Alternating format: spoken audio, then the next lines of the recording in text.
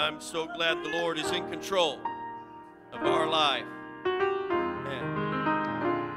Tried to illustrate to our young people and children today about through, by use of a remote control. We have a remote for everything. You know that?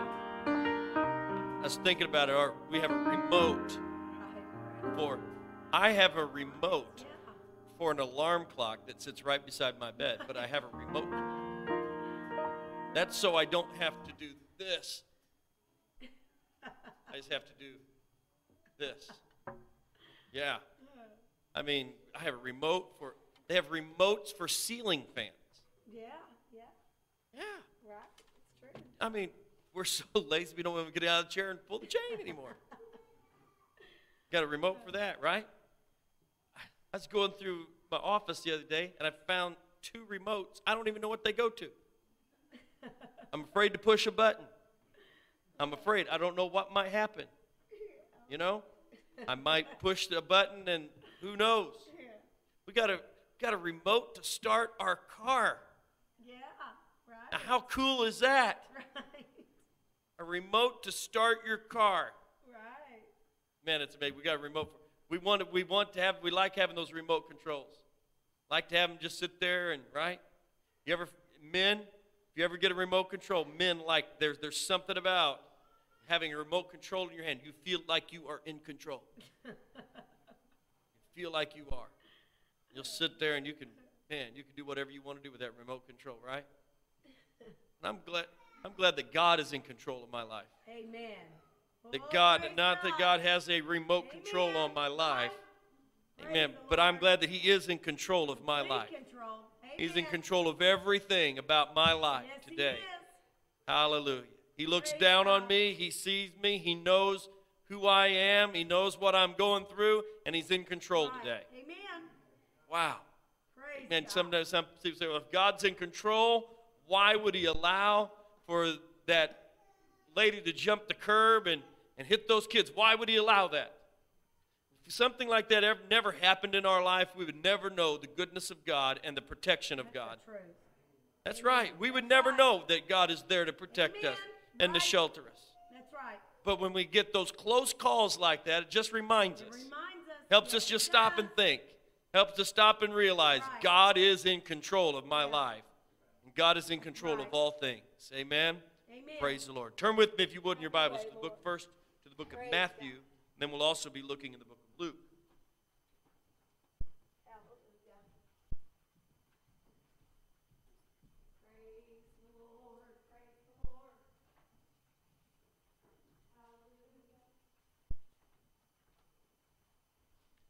Some common verses to you when we turn to the Gospels. Most of these verses are, are fairly common to us in the Gospels. And these Gospel stories are, are we're relatively familiar with them. And, uh, but I want to share something with you. I've just had on my, my heart over the last week or so just this topic, the last days. The last days. I think we're living in the last days. I think we're living in the last days. And I guess uh, maybe maybe it has something to do with you know the end of the world's coming. I didn't know if you didn't know that you need to you know read your newspaper because that's all they're talking about. 12, 21, you know, it's going to be the end of the world. And um, some people say 12, 12, 12. That sounds pretty, you know, drastic too, don't it?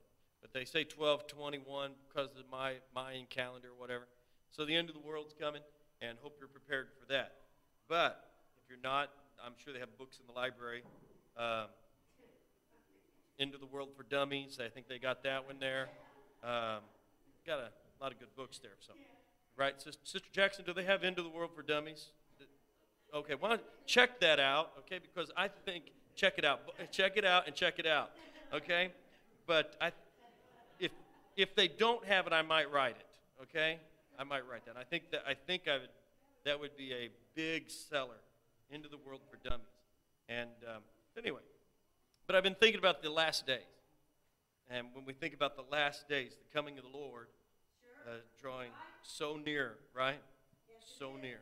Look at the book of Matthew, chapter 25, verse 1. Then shall the kingdom of heaven be likened unto ten virgins which took their lamps went forth to meet the bridegroom. Five of them were wise, and five were foolish. They that were foolish took their lamps and took no oil with them, but the wise took oil in their vessels with their lamps. While the bridegroom tarried, they all slumbered and slept. And at midnight there was a cry made Behold, the bridegroom cometh.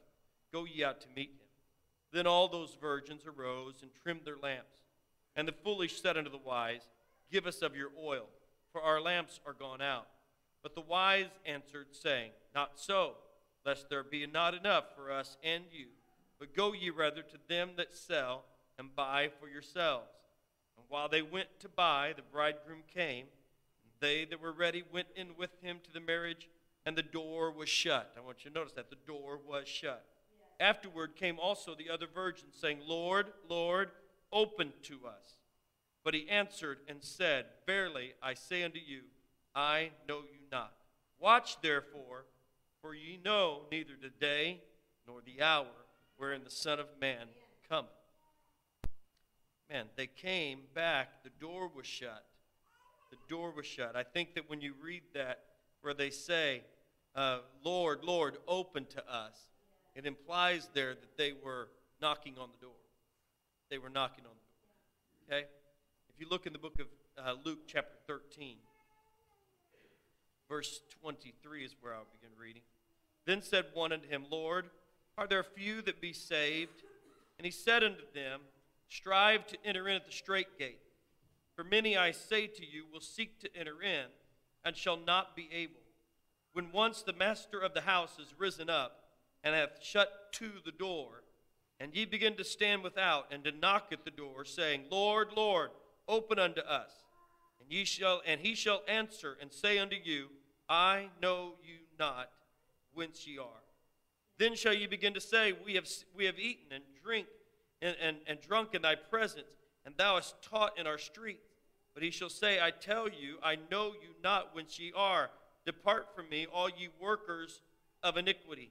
There shall be weeping and gnashing of teeth when ye shall see Abraham, Isaac, and Jacob, and all the prophets in the kingdom of God, and you yourselves thrust out you yourselves thrust out. And they shall come from the east and from the west and from the north and from the south, and shall sit down in the kingdom of God. And behold, there are last which shall be first, and there are first which shall be last.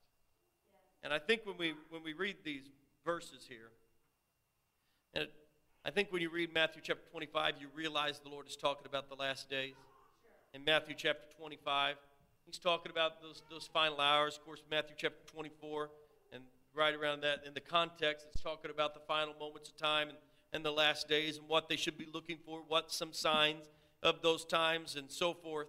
And I think when we read that, we read that about the, the uh, ten virgins, we understand that, that the Lord is talking about these last days. We're living in the final moments of time, I believe. Now we, we can we can we can fuss about, you know, uh, whether or not the Lord's coming in the next year, next month, next 10 years, whatever. But I think when in the whole scheme of things, we have to know, we have to know that there is not much time left before the Lord returns. And we maybe we'll get a chance as, as we continue to think about the last days to think look more at those signs of our times. But I want to focus right here tonight is that we are living in these final moments. The clock is ticking.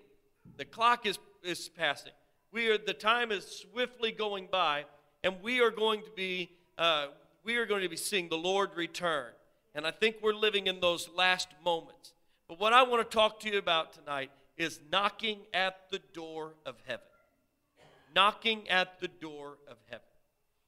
These people, all of them, had reason to believe that they should be allowed to enter. They all thought that they had a right to be entered into the feast and into the marriage. They all thought that they should have a right. But when, when you look in the book of Luke, here they come, they're knocking on the door. They're saying, Lord, Lord, open unto us. Lord, open the door. Let us in. They're knocking at the door. And the Lord says, Depart part. I don't, I don't even know who you are. I don't even know, know who you are. Then they go into uh, the, their defense, telling him, Lord, we, we ate with you, we drank with you, we, we, you taught in our streets. Lord, we are familiar with you. We are familiar with you. We know your teaching. We have had fellowship with you. We have had communion with you, Lord. You should know you, Lord. You got to know us. Open up the door and let us in. But the Lord refused to let them. And as they turn away from the door, picture in your mind, as they turn away from the door, they look into the window and they see all of Abraham, Isaac, Jacob, and all of the Gentiles and all the people there that are sitting around the table, but they are excluded and they're on the outside. The door shut, the door closed. These people, you know, when you look at the, the five foolish virgins, they should they thought they should have had a right to be there. They had all they had on their wedding garment. They had prepared, they had come just like the wise had come. Only thing was they just were not ready when the when the time came. They weren't prepared when the time came. For whatever reason, maybe they thought, you know, it's not going to be that long. So they didn't feel like we don't need to prepare for any long, extended, drawn out affair here. The Lord is coming, and so we need, we just take what we have in our lamps, and we'll be ready when the Lord comes. We'll be ready when the Lord comes.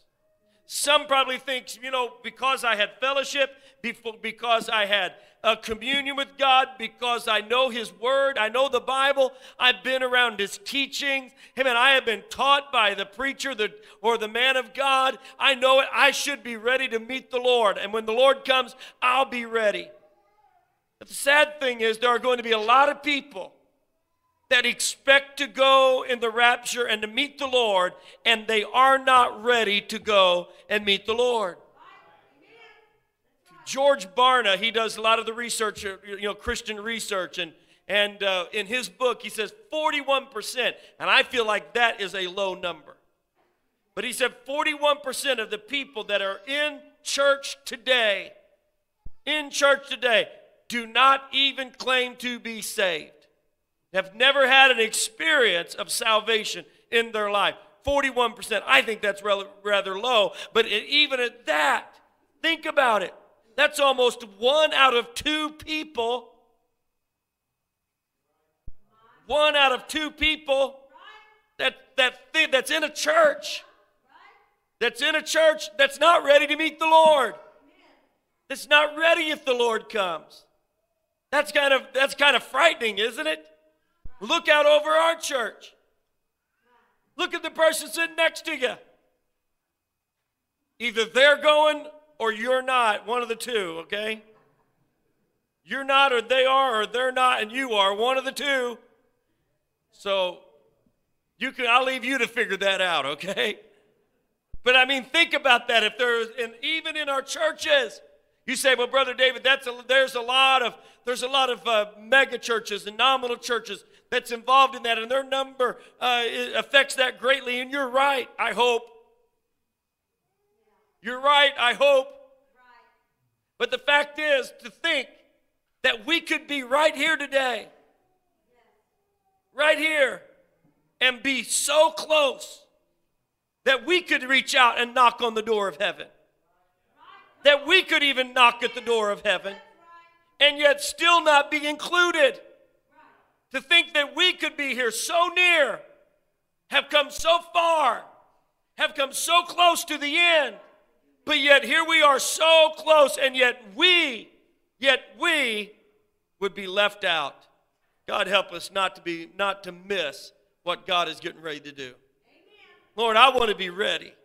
I want to be ready, Lord. I don't want to just be in a church, having fellowship, having communion, but I want to know the Lord. I want to know beyond shadow of a doubt. I'm ready to meet the Lord. I'm ready to meet God. Amen. This is what we live for. This is what we this is what we are all about. Is the coming of the Lord. But I think many times because the Lord delays his coming, complacency sets in. If when the if when the ten virgins had arrived, all of them prepared, all of them with lamps burning, all of them ready to go, oil in the lamp, we're ready to do it. If the Lord would have come at that moment, if the, if the bridegroom would have shown up at right then, if they'd only tarried for a short time, if he had only tarried for a little while, if he had have come before they fell asleep, if he would have come before they slumbered and slept, maybe the story would read different. If the Lord would have come 10 years ago, maybe it'd be different for some. Maybe if he'd have come the day after you got saved, it'd have been different for you. Maybe if the Lord would have come, amen, one year after you got saved, maybe it'd be different from you for you. But if the Lord tarries, what happens is they begin to get complacent. Complacency begin to settle in, and the next thing you know, they're all drifting off to sleep. And how many times in our in our walk with God does complacency begin to sit in in our life? And we begin to get comfortable where we are at. And we begin to get feel like that we have a reservation and we feel like that we have special a special place uh, set aside next to the lord you know and that we're going to be right there at his right hand. And so that we we're just everything's good. And so we begin to fall into a state of complacency where once we were striving that's the word that was used in the book of luke amen 13 and 24 i believe it was. He said strive to enter in. Strive to enter in Remember when you were striving for God? Remember when you were fighting for your salvation? Remember when you were doing everything that you could just to stay saved? Yeah, you know, uh, peace, peace creates weaklings. You understand what I'm saying? Peace creates cowards. Peace makes us weak. But when we are striving, when we are fighting, we make ourselves strong. Amen? When you're fighting, when, you're, when, when you have an enemy that you're fighting against, you stay strong. You do all you have to do to defend yourself. You do all that you have to do to protect yourself. But when we get to a point where we feel like that we no longer that we that we've arrived and that we're no longer striving for our salvation. When we are no longer, amen, fighting and, and battling you say, but man, that, that's, that's a sign of a, of a weak Christian when they always have to fight to be saved. I tell you what, if you have to fight to stay saved, you'll be reading your Bible, you'll be praying, you'll be seeking God, you'll be going to church, you'll be doing all you can, amen, because you want to win the battle. What scares me is those people that feel like they don't have to fight anymore. They don't have to fight anymore. They think they've got it all down. They think they've got it all sewed up. Everything is fine. I know my Bible. I know how to have church. I know how to do this. I know how to do that. Amen. And they are not striving to enter in. They have grown complacent. They have grown complacent in their walk with God. How many of us find ourselves in that position? How many of us find ourselves there saying, you know, I'm going to make it. I'm going to make it. Not sure about them, but I'm going to make it. I'm not sure about them, but I'm going to make it. I'm not sure about my brother. I'm not sure about my sister. I'm not sure about everybody else, but I'm going to make it. And we fall into this state of complacency. To a state of complacency. Lord, help us. Some people's relying on the fact that they have had communion with God. Some are relying on the fact that they have had fellowship with God at one time. Lord, I go to church. I go to church. I know you go to church. But just because you're sitting on a church pew don't mean you're ready to meet the Lord.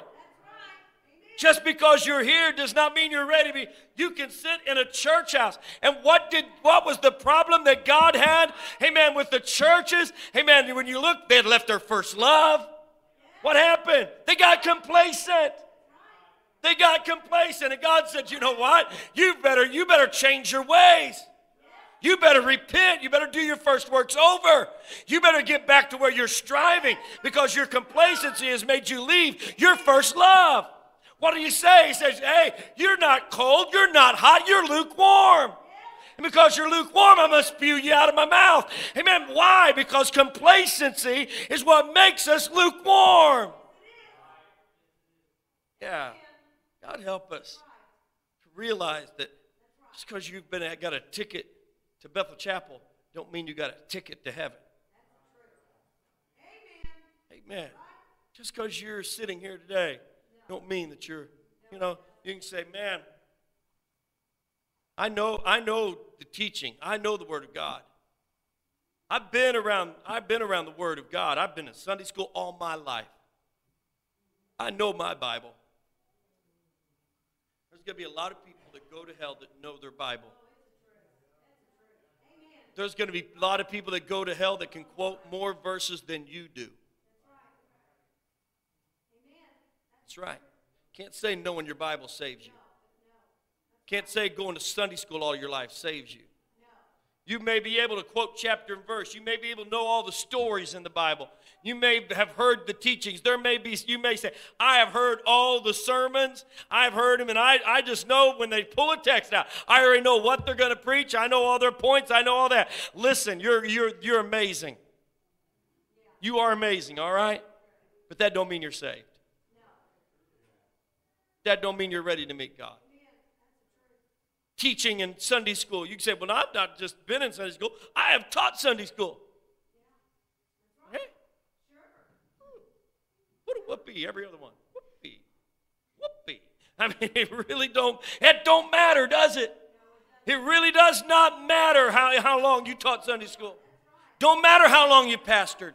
Don't matter how many sermons you preached. It don't matter how many times you've revivals you've held. How many people have even got saved when you preached. It doesn't matter. Amen. We can all get into a place of complacency and not be ready to meet God. We're knocking at the door of heaven. We're knocking at the door of heaven. Complacency, laziness. Hey, look, just a couple things I'll be done, okay? Complacency. When you become complacent, you lack reach. You no longer reach for others. You no longer are trying to get other people saved. You no longer have a burden for other people. I'm not about a burden for other souls. How many people sit in a church building and they you if you ask them and we won't ask this question tonight, okay? But if you ask them, how many people did you lead the Lord in the last year? They would hang their head and be embarrassed. How many people did you reach for God? How many people did you bring to Christ? How many people did you reach out? Well, the Lord's coming back. The Lord's coming back. And what happens is it leads to complacency in our life. Well, the Lord is going to return. The Lord is going to return. And we, we're not doing anything to reach the lost. We're not doing anybody anything to go out and win anybody to Christ. Well, there's no need to send another missionary. The Lord's coming soon. There's no need to start another church. Amen. They've had their church. Amen. There's no need to start another church. The Lord's going to come. The Lord's going to come before you even get a building built. The Lord's going to come before you can even get a preacher there. The Lord's going to come. And we, if we live that way, we will never reach for anybody for Christ. But that's complacent people. That's complacent people. I believe what God wants us to do, amen, is to be striving. To be striving, not only to keep ourselves safe, but to reach all those that we can. To reach everyone. And if there's a burning building and there's a hundred people in there, are you satisfied to save 99? And let one of them burn? Are you, are you satisfied? Amen. To save all but just one of them? Amen. I would say you'd want to save as many as all or all of them if you could. If you had time, you'd want to save them all. Amen. And those that are not complacent, they strive to reach the lost for God. If you don't have a burden for the lost, I want you to know I feel like you probably have grown complacent. If you're not trying to win some, hey, today I had to, I had to run into Walmart, and um, I ran into Sister Veach at Walmart. And I, when I say I ran into Sister Veach, I really mean I ran into Sister Veach. Okay? She was coming around the corner, turning into the aisle. I was coming out. Okay? She's in good health. Her heart held up real well. Okay? And she, she did fine. But, oh, man, she was tough. She said, I got to tell somebody about Jesus. And she started telling me about all the ones in the store that she had been witnessing to while she had been in Walmart. Okay, and then she started witnessing to me, and I'm like, hey, you know, I'm a, I'm all right here. She was telling, wanting to tell everybody about Jesus. She was all fired up, all excited, and she had been going through the store, amen, telling everybody that she had come in contact, I guess, amen, about, about the Lord Jesus, amen. I'm glad to see that saints of God don't ever have to get complacent, but we always can be striving to reach one more for the Lord, one more for God. Man. And saints that are not complacent, they are striving. Amen. They are reaching. They are reaching. Man, but saints that are not complacent have revival as well. Have revival. When you look at what when you look at these scriptures, I mean, I think the one thing that stands out to me is that some of them had oil, some of them did not. Some of them were prepared, some of them were not. It's not good enough just say you went to church. I mean, you need to have revival in your soul. You need to have a. I'm, I like to see people that don't matter how long they've been saved, they're still in a spirit of revival. Man, when everybody else is coming to church and they're sitting there looking at the preacher and they're about ready to fall out of the pew and, and they're yawning so big. Oh, you guys don't realize how big you can yawn sometimes. And they, they are, they're, you know, some of them even get the stretch going on sometimes if they sit in, well, some of them don't sit all the way to the back, but some of them get the stretch going on. And I mean, they're really, and then there are some people that always have revival. Always have a spirit of revival in their heart. Amen. That's the kind of Christian, amen, that won't grow complacent when they have a revival burning in your heart. Amen, church. I don't ever want to get to the point and say, well, the Lord's coming. Amen. We're just going to settle in here and keep ourselves and be ready when the Lord comes. I want to have a revival while I'm waiting for the Lord to come. I want to be revived when the Lord comes. Amen. I don't want the Lord to have to carry me into the do- through the door on a stretcher. Amen. I want to go rejoicing through the door. Amen. Praise the Lord. And but so many times we grow complacent while we're waiting for the coming Lord. Here, here we are, church. Every one of you could knock on the door of heaven right now. You could re- you you are close enough. You could knock at the door of heaven. And wouldn't it be sad to think that we would be this close? This close and not and not be able to make it. Not be able to make it. We're living in the last days. And I feel like we're living in a, a time of complacency in the church. Complacency in the church. It's a time for us to do all we can. All we can. To have revival. Have a movement. Yeah. Oh, are we having revival again, Brother David? Are we can are you going all the way through Sunday? Really?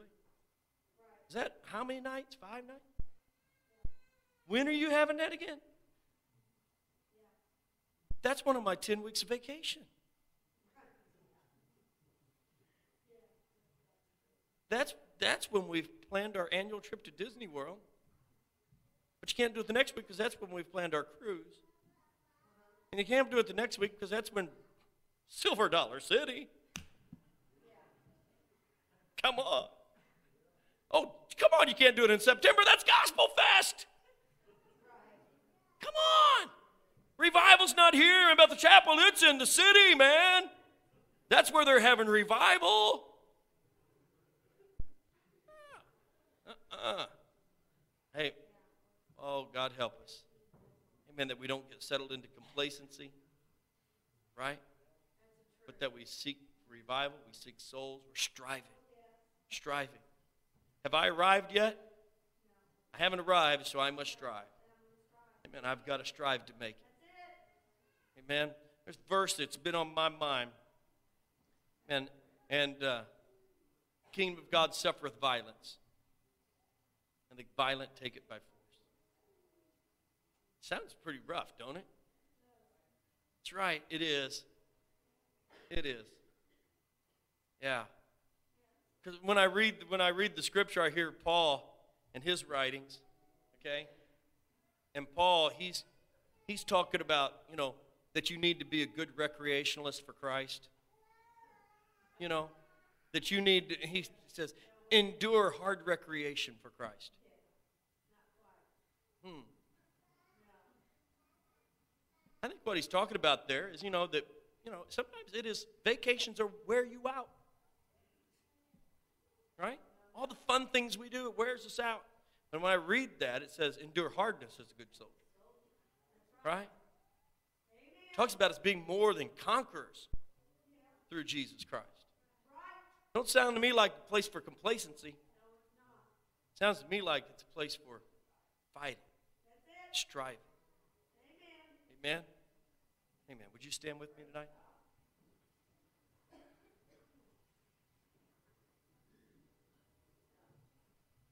Kids in, at chapel, they love the song. They love the song that they uh, casual Christian. And Zach and Titus, no, Zach and uh, who was going to sing with Keon? Zach and Keon were going to sing that today in chapel. And we just got ran out of time, but they're going to sing that casual Christian song. They love that song. I like that song too. But I don't want to be a casual Christian. No, I don't. I don't, I don't want to be one. I don't want to be one that just becomes complacent. Think that, I've, that I'm going to make it no matter what. Because we don't have no guarantee. I hear some of you say, Tell the Lord, Lord, open to me. Open to me. I'm sorry I missed it. I was at a family reunion. I didn't know. Uh uh-uh. uh Lord's coming. I want to be ready. I want to be ready. I want to be ready. I don't know. You know what? The Lord tells us that we should faith forsake not the assembling of ourselves together. Gives us a very strong warning about not missing that we should continue to assemble together and worship God, right? And he also says, even much even more so as we see the day approaching. Amen. Do we see that day approaching? It's not time to lay out of church. This is time to be in church. This is the time for us not to be complacent. Yeah. Yeah. Oh, yeah. There's those people that, that when they find out you're a Christian, they say, Oh, I go to church.